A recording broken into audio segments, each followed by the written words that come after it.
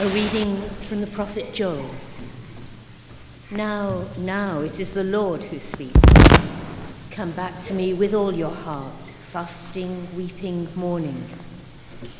Let your hearts be broken, not your garments torn. Turn to the Lord your God again, for he is all tenderness and compassion, slow to anger, rich in graciousness, and ready to relent. Who knows if he will not turn again, will not relent, will not leave a blessing as he passes oblation and libation for the Lord your God? Sound the trumpet in Zion, order a fast, proclaim a solemn assembly, call the people together, summon the community, assemble the elders, gather the children, even the infants at the breast. Let the bridegroom leave his bedroom and the bride her alcove between vestibule and altar. Let the priests, the ministers of the Lord, lament. Let them say, Spare your people, Lord. Do not make your heritage a thing of shame, a byword for the nations. Why should it be said among the nations, Where is their God? Then the Lord, jealous on behalf of his land, took pity on his people. The word of the Lord. Thanks be to God. Let us say the responsorial psalm together. Have mercy on us, O Lord, for we have sinned. Have mercy on me, O God, in your kindness. In your compassion, blot out my offense. O wash me more and more from my guilt, and cleanse me from my sin. My offenses, truly I know them. My sin is always before me. Against you alone have I sinned. What is evil in your sight, our God? have done. A Pure pure heart create for me, O God. Put a steadfast spirit within me. Do not You cast me away from your presence, nor deprive me of your Holy Spirit. Give me again the joy of your help. With the spirit of favor sustain me. O God, open my lips, and my mouth shall declare your praise. A reading from the second letter of St. Paul to the Corinthians. We are ambassadors for Christ. It is as though God were appealing through us, and the appeal that we make in Christ's name is be reconciled to God. For our sake, God made the sinless one into sin, so that in him we might become the goodness of God. As his fellow workers, we beg you once again not to neglect the grace of God that you have received. For he says, At the favourable time I have listened to you. On the day of salvation I came to your help. Well, now is the favourable time. This is the day of salvation. The word of the Lord. Thanks be to God. Let us stand to greet the gospel. Praise to you, O Christ, King of eternal glory. A pure heart to create for me, O God, and give me again the joy of your help. Praise to you, O Christ, King of eternal glory.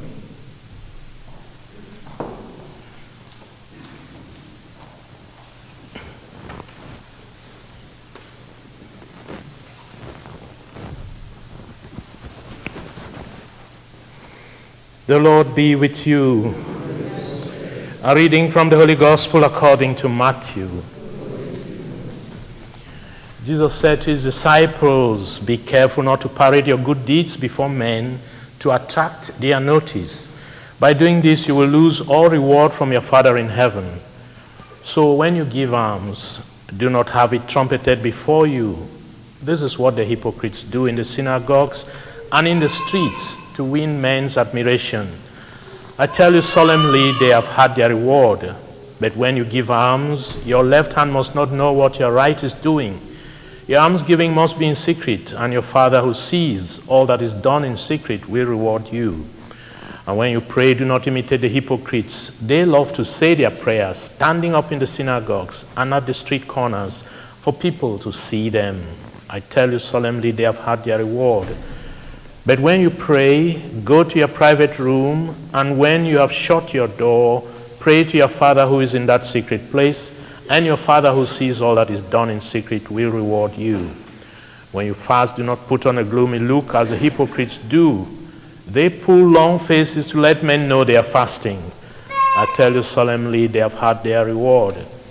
But when you fast, put on oil on your face and wash your face, so that no one will know you are fasting except your Father who sees all that is done in secret.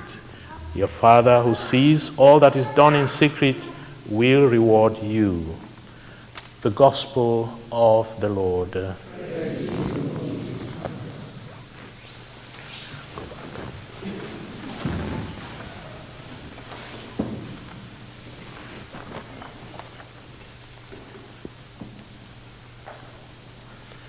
Fasting has an ancient tradition in the Christian church. In the Didache, a Christian text from the second century, it is reported that while Jews kept private fasts on Mondays and Tuesdays, Christians did so on Wednesdays and Fridays in memory of the Passion of Christ. For both religions, Christian and Jewish, the practice of fasting was understood as a way of humbling themselves before God and strengthening their prayer. Rabbinic literature also linked fasting with almsgiving, and early Jewish writing from the same period stated that the merit of a fast is in proportion to the charity dispensed.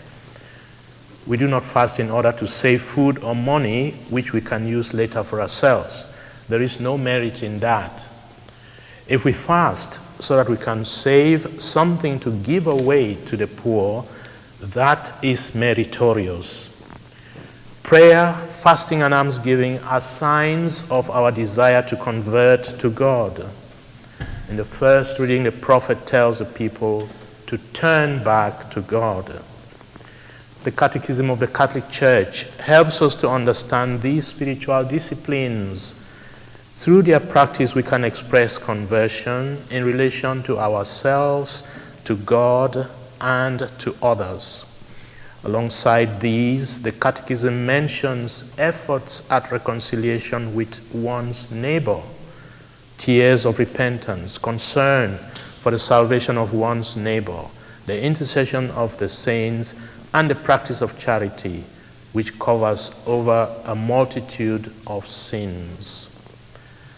Our culture is obsessed with food, and so many TV shows and podcasts are about cooking and eating. Our desire for new eating fads is powerful. The idea of fasting is unlikely to appeal, whereas the idea of dieting has much attraction today.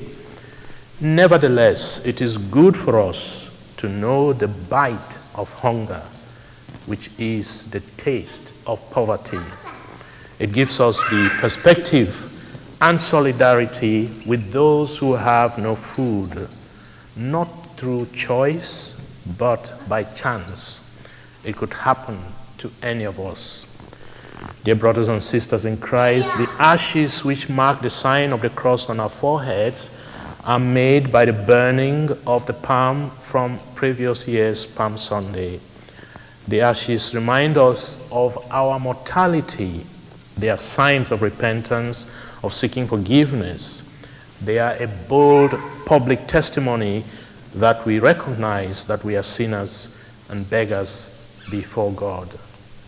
We pray that God will have mercy on us as we repent and believe the good news.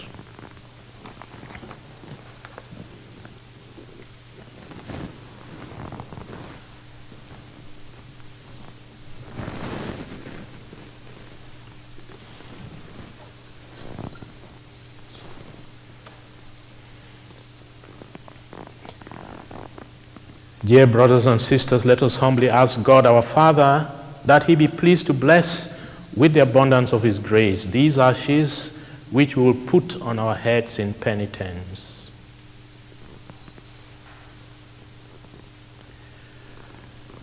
O God, who are moved by acts of humility and respond with forgiveness to works of penance, lend your merciful ear to our prayers, and in your kindness pour out the grace of your blessing on your servants who are marked with these ashes, that as they follow the Lenten observances, they may be worthy to come with minds made pure to celebrate the paschal mystery of your Son, through Christ our Lord. Amen.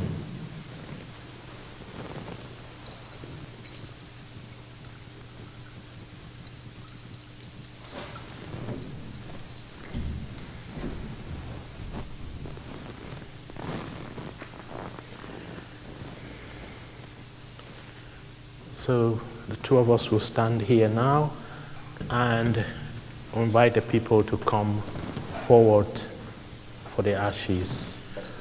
And they will say, Repent and believe the gospel. And you answer, Amen. Repent and believe the gospel. Amen.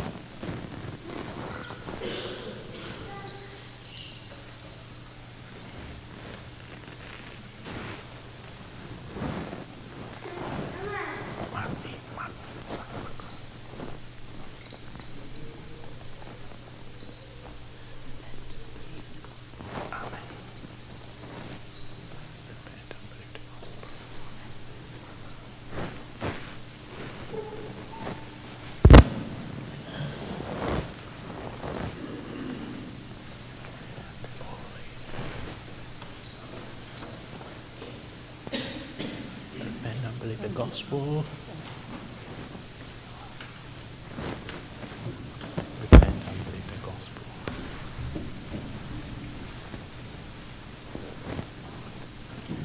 Repent and believe the gospel. Repent and believe the gospel. Repent and believe the gospel. Repent and believe the gospel. Repent and believe the gospel. Repent and believe the gospel. Repent and believe the gospel. Repent and believe the gospel. Repent and believe the gospel. Repent and believe the gospel. Repent and believe the gospel. Repent and believe the gospel. Repent and believe the gospel. Repent and believe the gospel. Repent and believe the gospel. Repent and believe the gospel. Repent and believe the gospel. Repent and believe the gospel. Repent and believe the gospel. Repent and believe the gospel. Repent and believe the gospel. Repent and believe the gospel. Repent and believe the gospel. Repent and believe the gospel. Repent and believe the gospel. Repent and believe the gospel. Repent and believe the gospel. Repent and believe the gospel. Repent and believe the gospel. Repent and believe the gospel. Repent and believe the gospel.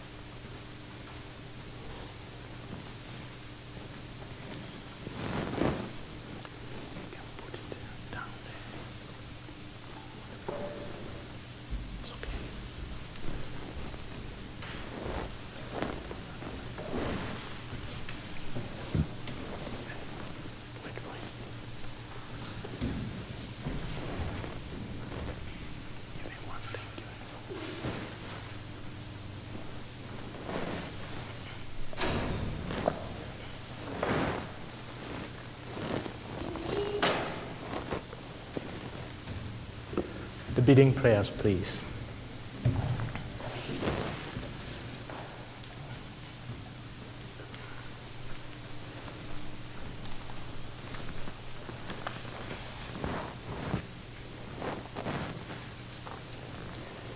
Let us present our needs to God, who is gracious and merciful, slow to anger and abounding in love.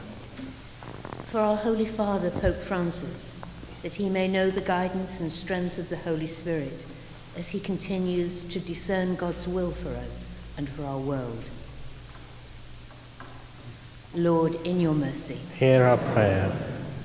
For the Church, that she may be an ambassador for Christ by announcing the good news of reconciliation. Lord, in your mercy. Hear our prayer. For all present here today, that we may have the will to change our lives and the lives of others by our charity, good example, and prayer. Lord, in your mercy. Hear our prayer. For all who are estranged, that they may seek to be reconciled to all those with whom they are in dispute. Lord, in your mercy. Hear our prayer.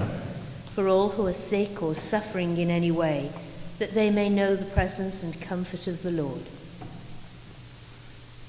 Lord, in your mercy. Hear our prayer. For ourselves, that this Lenten season will prepare us for our Passover from death to newness of life. Lord, in your mercy. Hear our prayer. Let us take a moment to pray in silence for our own intentions.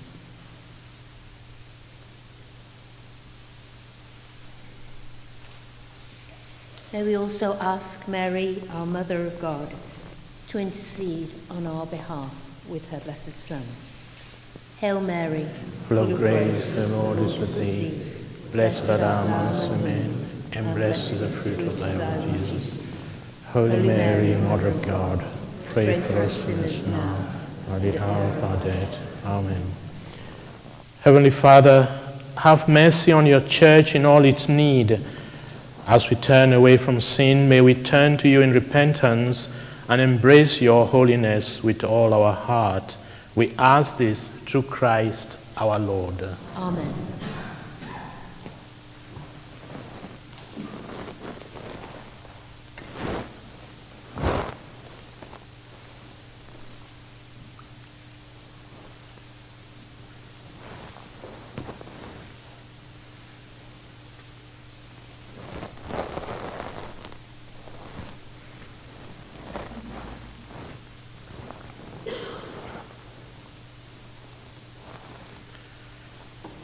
Blessed are you, Lord, God of all creation, for through your goodness we have received the bread we offer you, fruit of the earth and work of human hands. It will become for us the bread of life.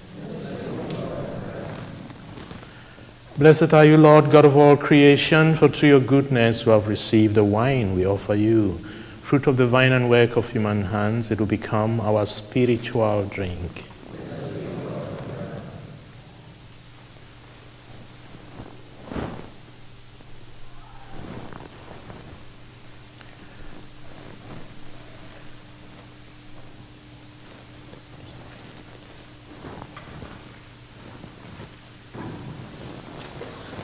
Pray, brethren, that my sacrifice and yours may be acceptable to God the Almighty Father.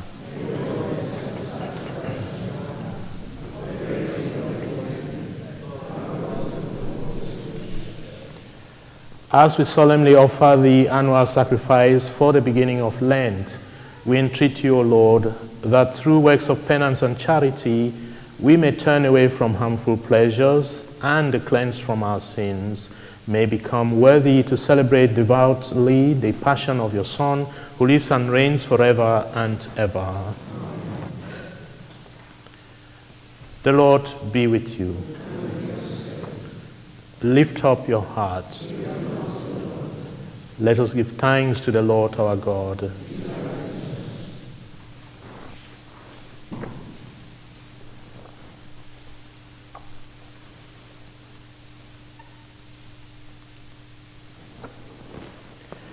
It is truly right and just, our duty and our salvation, always and everywhere to give you thanks, Lord, Holy Father, Almighty and Eternal God.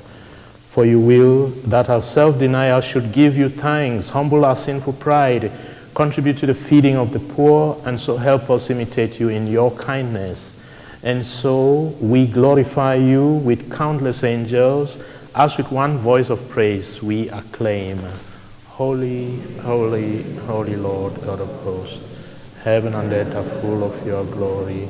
Hosanna in the highest. Blessed is he who comes in the name of the Lord. Hosanna in the highest. You are indeed holy and to be glorified, O God, who love the human race and who always walk with us on the journey of life. Blessed indeed is your Son present in our midst when we are gathered by his love and when as once for the disciples, so now for us, he opens the scriptures and breaks the bread. Therefore, Father most holy, we ask you to send forth your Holy Spirit to sanctify these gifts of bread and wine, that they may become for us the body and blood of our Lord Jesus Christ. On the day before he was to suffer, on the night of the Last Supper, he took bread and said the blessing, broke the bread, and gave it to his disciples, saying, Take this, all of you, and eat of it, for this is my body, which will be given up for you.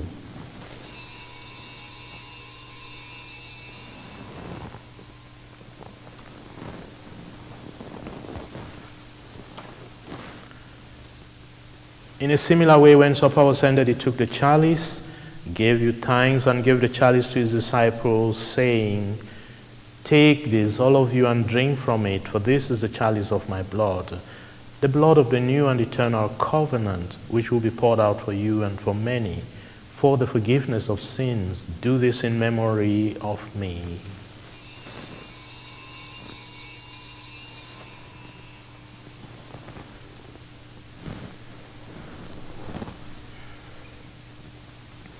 The mystery of faith, when we eat this bread and drink this cup, we proclaim your death, O Lord, until you come again. Therefore, Holy Father, as we celebrate the memorial of Christ, your Son, our Savior, whom you led through his passion and death on the cross to the glory of the resurrection, and whom you have seated at your right hand, we proclaim the work of your love until he comes again, and we offer you the bread of life and the chalice of blessing Look with favor on the oblation of your church, in which we show forth the paschal sacrifice of Christ that has been handed on to us, and grant that by the power of the Spirit of your love, we may be counted now and until the day of eternity among the members of your Son, in whose body and blood we have communion. By our partaking of this mystery, Almighty Father, give us life through your Spirit Grant that we may be conformed to the image of your Son and confirm us in the bond of communion together with Francis our Pope, Mark our Bishop, with all other bishops, with priests and deacons, and with your entire people. Grant that all the faithful of the church, looking into the signs of the times by the light of faith, may constantly devote themselves to the service of the gospel. Keep us attentive to the needs of all that sharing their grief and pain, their joy and hope, we may faithfully bring them the good news of salvation and go forward with them along the way of your kingdom.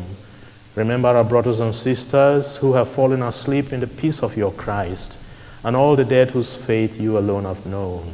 Admit them to rejoice in the light of your face, and in the resurrection give them the fullness of life.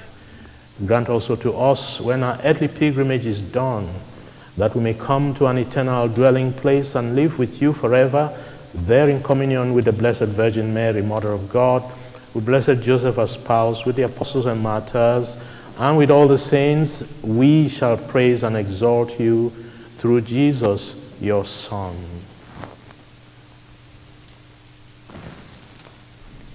Through him and with him and in him, O God Almighty Father, in the unity of the Holy Spirit, all glory and honor is yours forever and ever.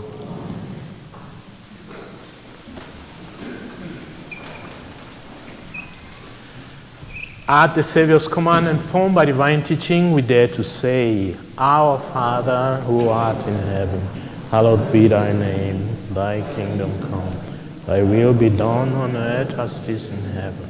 Give us this day our daily bread, and forgive us our trespasses, as we forgive those who trespass against us. And lead us not into temptation, but deliver us. Deliver us, Lord, we pray, from every evil. Graciously grant peace in our days, that by the help of your mercy we may be always free from sin and safe from all distress, as you await the blessed hope and the coming of our Savior, Jesus Christ.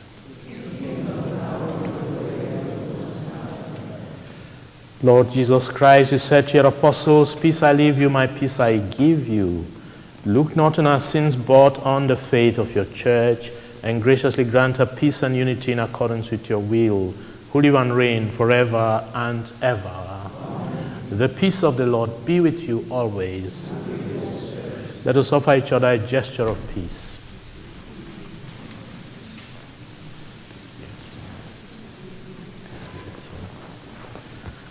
Lamb of God, you take away the sins of the world.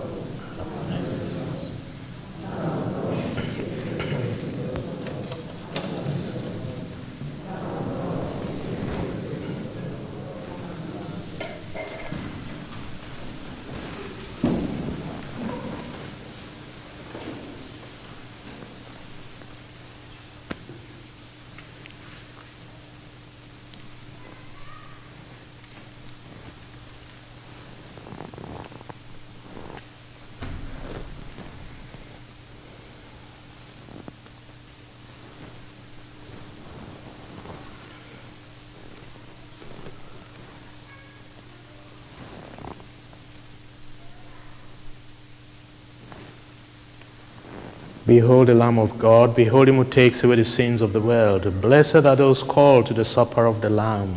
Lord, I'm not worthy that you should enter under my roof, but only say the word, and my soul shall be healed.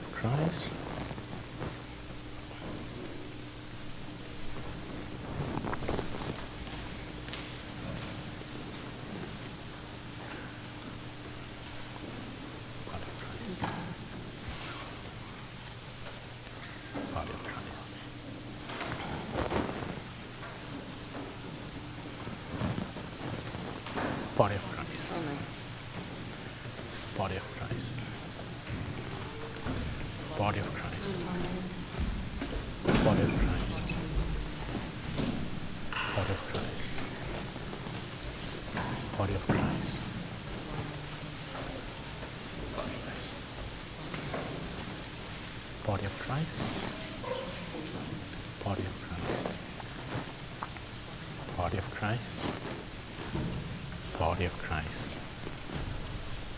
Body of Christ. God bless you. God bless. You. Body of Christ. Body of Christ.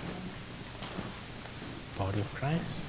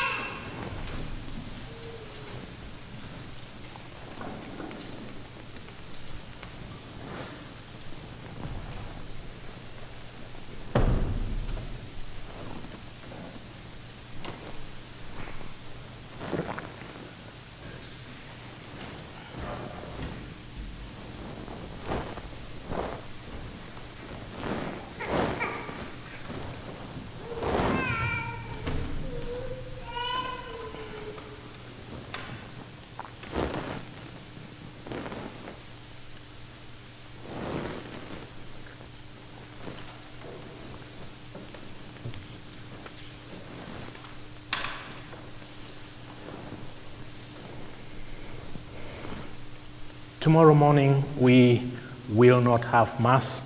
The priests are having a Lenten recollection at Crewe.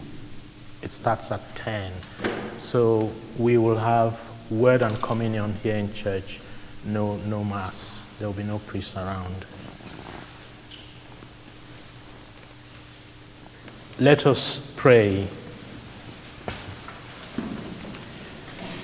May the sacrament we have received sustain us, O Lord, that our Lenten fast may be pleasing to you and be for us a healing remedy through Christ our Lord. The Lord be with you.